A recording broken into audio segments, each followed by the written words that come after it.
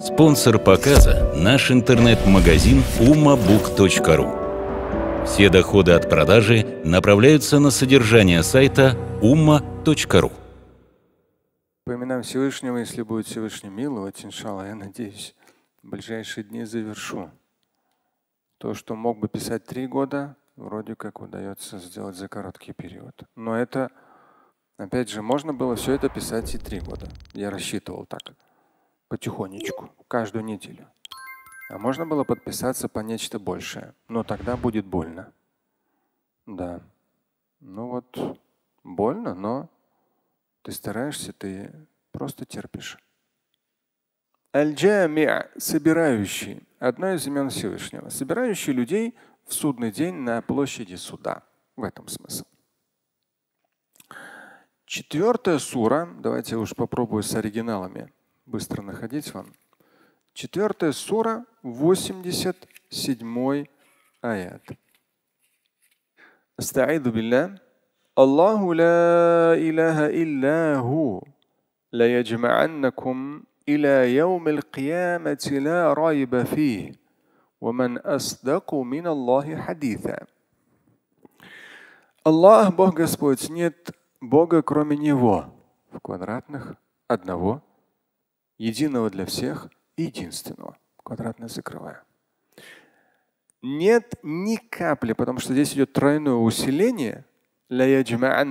Поэтому я на русском формулирую нет ни капли сомнения в том, что он соберет вас всех ко дню суда. И причем дальше идет добавление в аяте. Нет в этом никакого сомнения. Здесь я написал неизбежность которого однозначно.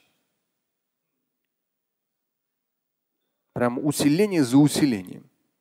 Потому что мы, люди, обычно этого не чувствуем, мы этого не видим. За нашими делами, за нашими хлопотами семейными, рабочими мы обычно не видим судный день. Мы не видим ответ перед Всевышним.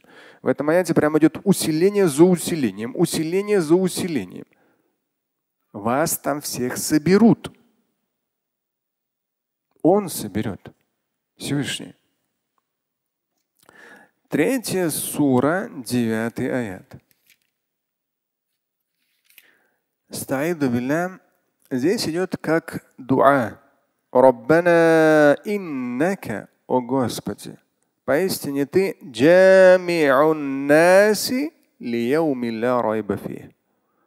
соберешь людей в тот день, относительно которого нет сомнений.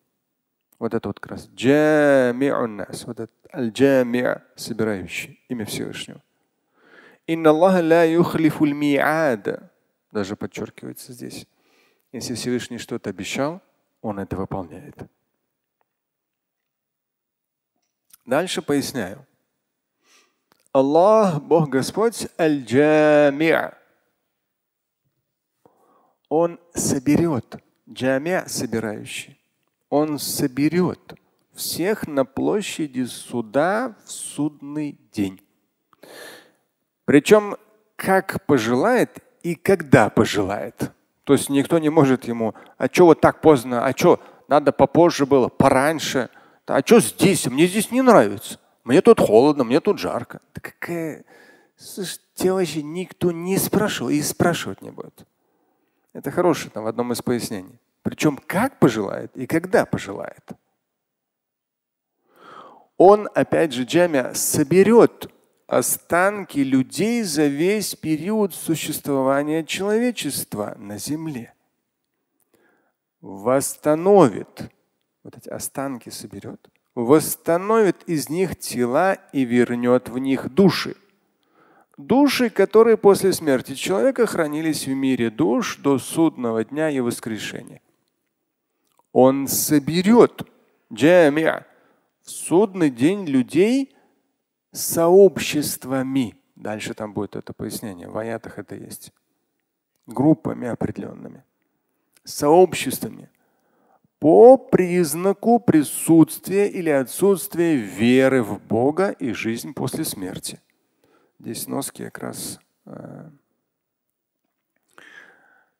в том числе привожу четверт, четвертая сура, 140 аят. Там как раз говорится о том, что определенные категории будут собраны и отправлены в ад. То есть по категориям. Также он соберет по признаку следования тому или иному пророку и посланнику. Это мы тоже в хадисах знаем, что у этого пророка будет столько последователей, тут такая, и тут вообще. Некоторые из пророков вообще у них будет очень, как какой-то невероятный, там горизонт весь заполняет количество их последователей. Конечно же, больше всего заключительного Божьего посланника. По признаку следования тому или иному пророку или посланнику, последним из которых был Мухаммад, алейхиссалату Он Господь миров, здесь уже джамия, чуть в другом смысле тоже смысл. Он, Господь миров, собрал, ему присущи все благородные качества в высших и бесконечных формах их проявления. То есть он собрал в своей сути, ему присущи все благородные качества в высших и бесконечных формах их проявления. То есть полностью собраны в нем. Он опять же джами собрал но здесь я чуть другой глагол применяю. Вобрал, вобрал. Все совершенство, величие, силу и желание в нескончаемых формах их проявления. То есть Он Всевышний собрал, то есть вобрал все совершенство, величие, силу и желание в нескончаемых формах их проявления. Это как раз в контексте имени Аль-Джамиа. Дальше идет. В этой жизни мы пересекаемся с разными людьми. Состоим то в одном, то в другом сообществах. Кого-то мы сторонимся, к иным стараемся быть ближе. И это может происходить по самым разным причинам. В потоке дел мы обычно не задумываемся в кругу, кого окажемся в судный день. А также после того, после судного дня, где окажемся в аду или в раю и в окружении кого. Там не будет иметь значения какого-то цвета кожи, какой национальности. То есть по этим признакам там разделения не будет. Какого цвета кожи, глаз, какой национальности? Нет. Насколько был богат? Вот здесь какая-то тусовка богатых? Нет. Какие политические взгляды у тебя были? Нет. Не по этим характеристикам. В судный день у каждого будет свой уникальный и очень индивидуальный отчет пред Богом. Как раз на неделе тоже писал одно из имен, сейчас не припомню какое. Там тоже оно прямо так детально раскрывает, что будет очень индивидуальный подход у каждого. Очень. То есть человек может сказать, ну вот там я там всего несколько сур Корана знаю, да, а другой человек там, там два джуза выучил или пять джузов. То, что ты несколько сур Корана знаешь, а он там 4 или 5 джузов выучил, это не говорит о том, что он окажется выше тебя в судный день, в райской обители. Не говорит. Потому что, возможно, он находится в кругу тех с детства, кто знает Коран наизусть. А ты со своими несколькими сурами находишься, вынужденно работаешь среди всяких алкоголиков, там, прелюбодеев, развратный образ жизни ведущих, но ты не пьешь, не куришь, здоровый образ жизни ведешь, и еще Коран знаешь, и намаз читаешь. И представь, тут сразу уже перевес идет в какую сторону? В твою сторону. Эти все нюансы Всевышний учтет в судный день. Это одно из имен его тоже Всевышний. Одно из его имен указывает на это. В судный день у каждого свой уникальный и очень индивидуальный отчет пред Всевышним. Но к какой группе людей человек относился, кто в земной жизни был ему по-настоящему дорог и близок, Здесь сноски, я здесь пишу родственные души в кавычках, и в сноске даю хадис. Пророк Мухаммад алейхиссалам говорил, что души людей, они тянутся к себе подобным. Да. И в том числе здесь привожу в сноске хадис, где пророк алейхиссалам говорит, Человек с тем, кого он сильно любит, искренне уважает. То есть там как раз у посланника Божьего спросили, вот человек не может достичь какого-то уровня, но он людям этого уровня, например, духовного, очень хорошо относится, очень сильно их уважает. И пророк, алейхиссалату говорит, ему учтется подобно, как он их уровня. Он окажется вместе с ними в райской обители. Хотя, возможно, по каким-то характеристикам не дотягивал, но он их очень хорошо к ним относился, уважительно относился. И в итоге с ними окажется в райской обители. Здесь как раз идет то, что родственность душ тоже сыграет очень большую роль касательно перспектив человека в вечности. Далее здесь приводится 30, 39 э, сура 71 аят.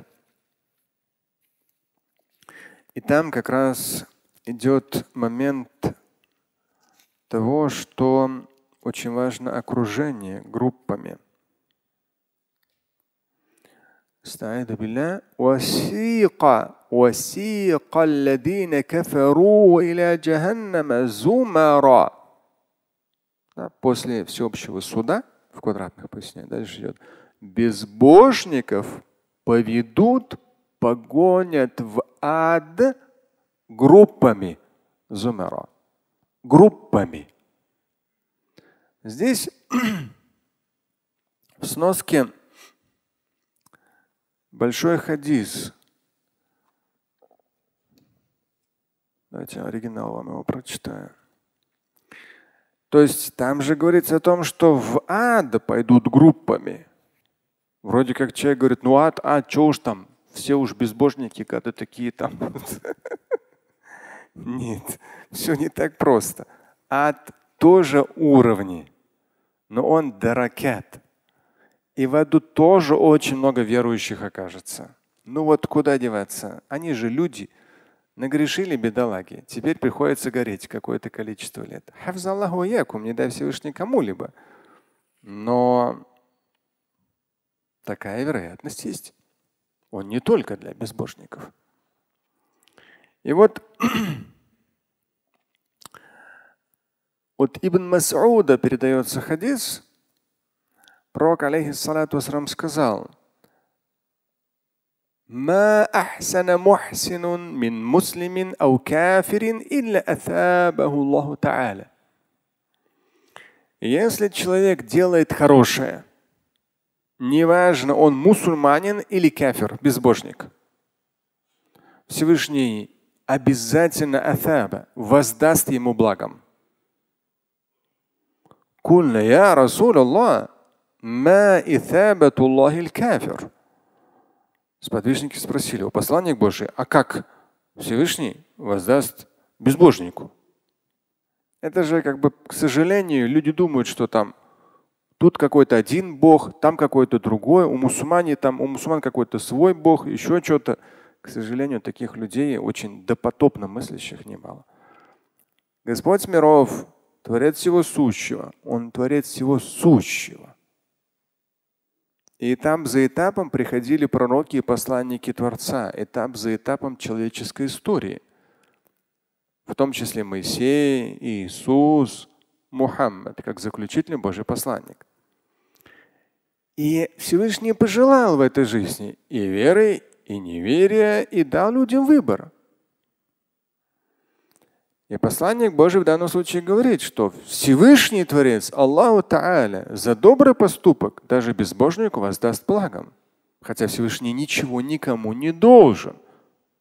Но правила таковы, которые установлены в этой жизни. И сподвижники спросили, как это будет происходить?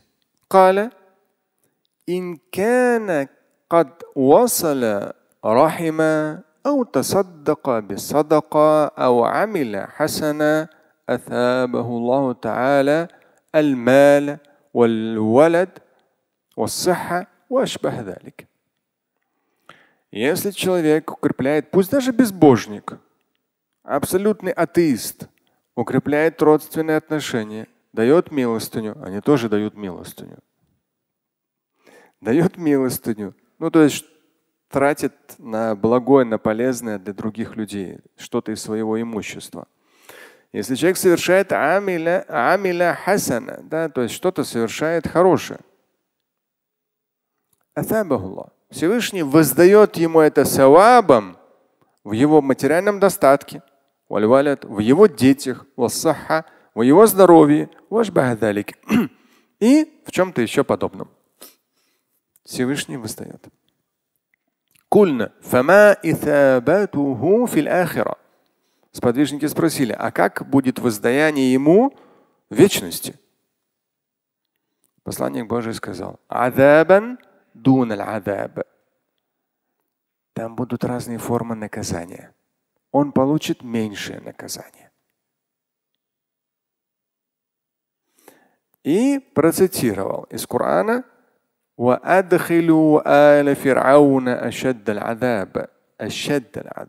Введите фараона, фараона и его окружение в худшее наказание. Самое болезненное. В то же время в этой же суре 39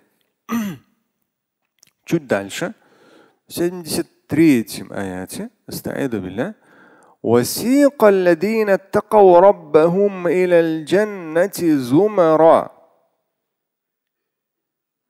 тоже идет. Сика тоже зумара, но про верующих людей. И бывших в земной обители набожными пред Господом, в квадратных поясняю, тех, кто прислушивался к посланникам и следовал в меру силы возможностей их наставлениям, их поведут зумара группами. Или джанна в рай. В квадратных поясняю, в зависимости от уровня, который они заслужили из ста имеющихся. В хадисе говорится, что в раю 100 уровней. То есть Аллах, Бог Господь, соберет нас вместе с теми, кто был близок нам по убеждениям и взглядам. Наше постоянное пересечение с ними в земном будет иметь уже вечные перспективы. И вот на umma.ru, да, там раздел Акида, если нажать, там подраздел имена Аллаха, и там как раз вот эти материалы, когда писал, в том числе есть внутри материала, как использовать это имя аль-джами' в повседневной жизни. Здесь я пишу, важно окружение. Подобное притягивает к себе подобное. Если вас больше привлекают люди, ведущие развратный образ жизни, тогда несложно предсказать ваши перспективы в вечности – Аль-Джами' собирает людей как в земной жизни, так соберет и в вечной по определенным качествам, характеристикам. Но даже здесь мы же с вами собрались, вот огромный город, да, это плюс-минус 15 миллионов человек. Столько дел, столько хлопот, у кого учеба, у кого работа. Мечеть, одна из четырех московских мечетей. И вот какой-то внутренний посыл, позыв, да, обязательная пятничная молитва, да, пятничная проповедь. Здесь у кого-то окошко свободное, да, кто-то свободный там, как бы там в своем рабочем графике. То есть и вот оно хоп-хоп-хоп, смотришь, самые разные люди, и мы так пересеклись, пересеклись, пересеклись, пересеклись, и вот так вот оказались вместе в довольно небольшом пространстве. Но, как я сказал ранее, очень важно вот это вот окружение его сохранять на протяжении всей жизни. Пусть даже вы не окажетесь там на каком-то этапе именно в Москве, но вы в другом городе, в другой стране даже найдете тоже мечеть, найдете местную общину, тоже придете на чума. То есть, по сути дела, сохраняя вот это вот окружение, пересекаясь с людьми, там, на ифтарах в том числе, на травихах. Здесь с кем бы вы ни строили дружеские, родственные или партнерские отношения, здесь вот по поводу как использовать, с кем бы вы ни строили дружеские, родственные или партнерские отношения, спрашивайте себя, среди этих людей я намерен воскреснуть в судный день?